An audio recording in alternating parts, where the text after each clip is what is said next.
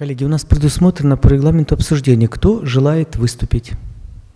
Поделиться своим опытом, выступить, сказать впечатления о докладах наших коллег. Будьте добры, Сергей Львович.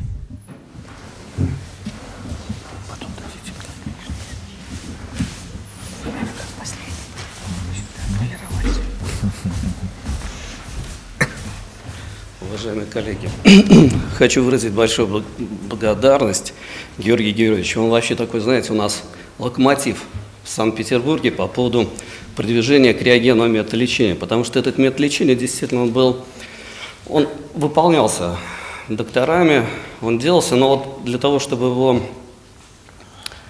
а, для того, чтобы большая публика могла узнать и услышать этот метод лечения, вот такого вот у нас не было, потому что проходят, к примеру, криогенные э, конгрессы по криохирургическим методам лечения различных локализаций.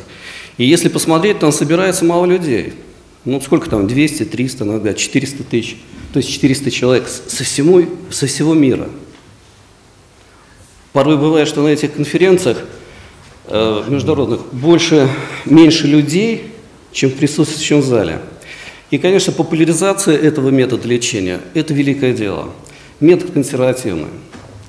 Предыдущий оратор говорил, что пациентов с возрастом, которые отягощены сопутствующими заболеваниями, соматическими сопутствующими заболеваниями, которые выполнить традиционный метод лечения, а ими является это лечение рака кожи.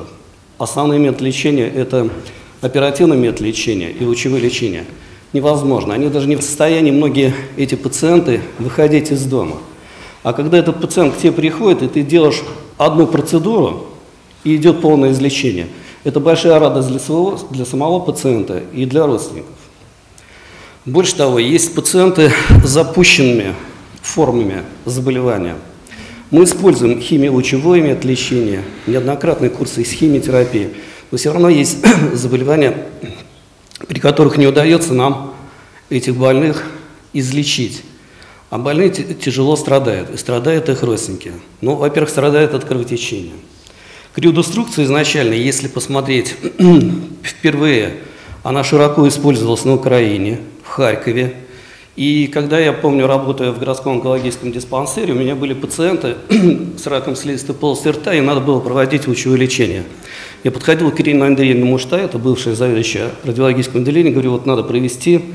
Она говорит, нет, не могу, идет кровотечение, будем проводить лучевое лечение, кровотечение усилится, и 32-летний пациент умрет, а так он еще поживет месяц-два. Я тогда пошел в первый медицинский институт, библиотеку и нашел книгу, которая называлась «Лечение гемангиом у детей». У детей есть большие опухоли, в центре распад и кровотечение – и вот криодеструкция впервые стала использоваться при купировании или остановке кровотечения. Вот патморфологи здесь очень хорошо показали, что происходит стазирование в сосудах, разрушение их, идет остановка кровотечений. И сейчас, э, допустим, доктора, которые занимаются химиотерапией, они присылают к нам в центр, центр ОНО здоровья Елена Кентон, мы находимся на Малой Конюшенной – присылает этих пациентов к нам, мы разрушаем участки кровотечения, уменьшается объем опухоли, и в дальнейшем пациент может проводиться, больному проводится химиотерапия. И об этом тоже надо э, помнить, и этим больным надо помогать. По поводу меланомы. Меланома очень хорошо лечится криодеструкцией. И это начинаешь понимать тогда, когда оперативный метод лечения, ну просто отказываются от оперативного лечения по соматическим состояниям. Впервые я проводил лечение меланом в областном онкологическом диспансере. У меня была пациентка с большим весом, с водойного поля, с большой сопутствующей патологией уже в возрасте, в области виска где-то сантиметра 3-4 была меланома без с атрофическим эпителием, морфологически верифицирована, без изъязвления. Я сделал криодеструкцию, больная уехала где-то на 2-3 месяца, потом она ко мне вернулась, опухоль уменьшилась где-то в 3-4 раза, уже там с 5-копеечную монету стала, я еще раз провел криодеструкцию, и опухоль потом исчезла, метастазов не было. Мне кажется, что использование э, криодеструкции, криогенного метода лечения при различных формах и наружных, особенно формах локализации, это кожи, слизистой полости рта, молочной железы, при распадающихся формах вульвы надо широко использовать. Причем этот метод лечения, конечно, должен использоваться в любой поликлинике, и в любой поликлинике должна быть криогенная аппаратура. Спасибо. Спасибо, Сергей Григорьевич.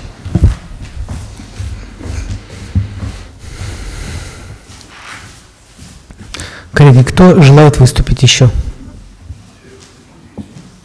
Михаил Дмитриевич.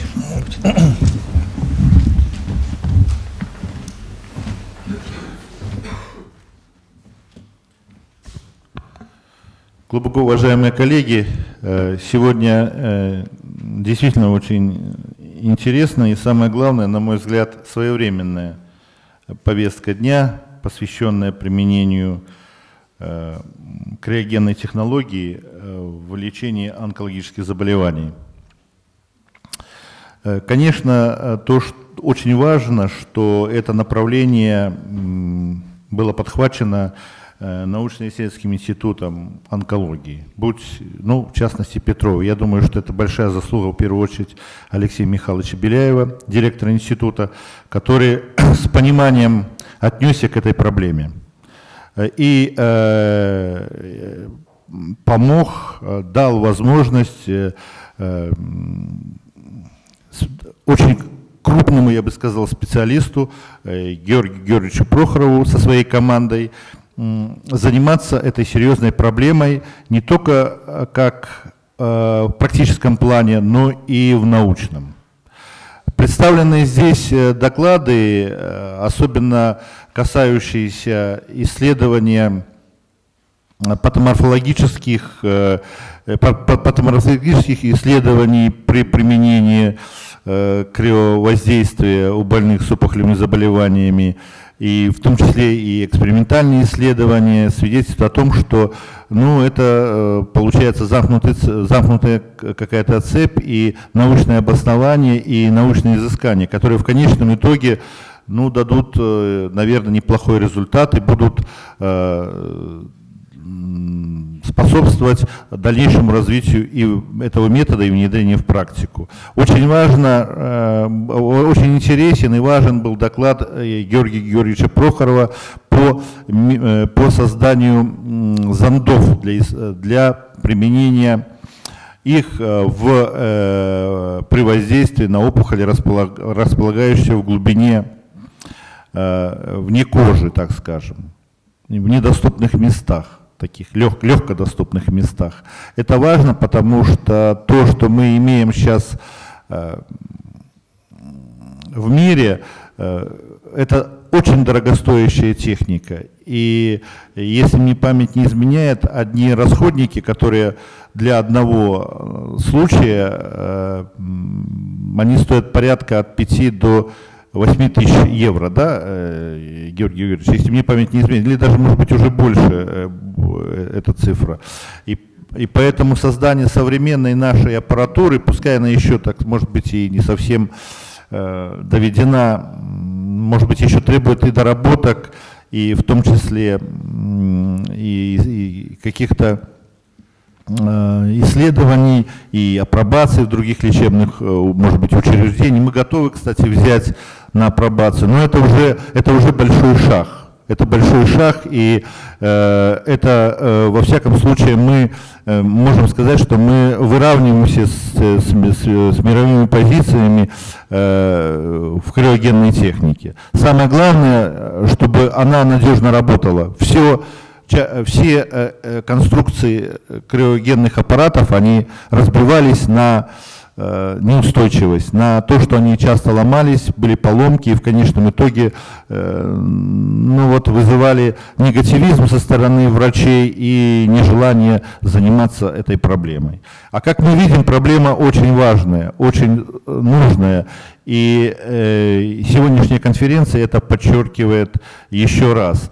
Я желаю, ну, хочу пожелать э, э, команде Георгия, Георгия Георгиевича в этом плане сохранить тот же темп, и э, тоже целеустремленность в своей работе. И я думаю, что эти методики найдут более широкое применение в практике не только онкологов, но и других специалистов. И не только в специализированных учреждениях, но и в амбулаторно-поликлиническом звене.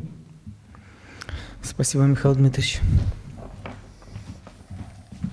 Уважаемые коллеги, ну, подводя черту сегодняшнему нашему мероприятию, разрешите поблагодарить прежде всего организатора этого мероприятия, прежде всего Георгия Георгиевича Прохорова с его командой, которые показали, подготовились, провели это мероприятие, которые показали результат своих трудов последних лет и, в общем-то, хорошие результаты. Знаете, сейчас мы все ощущаем, даже вот, вот во время дискуссии в этом зале, все равно есть какой-то неприятие вот с, э, от традиционных методов лечения, вот прежде всего хирургов. Хирурги все-таки привыкли взять опухоль, подержать в руках, найти край опухоли, увидеть, посмотреть этот край. Вот вопрос Петра Владимировича, он как раз был типичный. Если мы не видим края, как мы можем предполагать, что дальше будет? Ну, нам надо свои стереотипы менять, все равно все движется вперед. И не только хирургия, не только традиционными методами ограничивается наше, леч... наше лечение наших онкологических больных.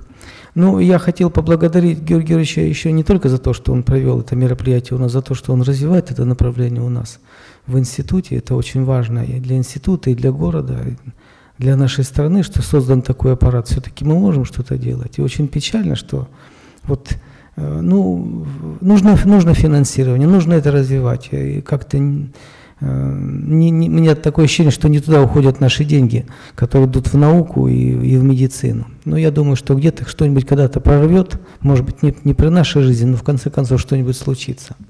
Спасибо большое всем за мероприятие.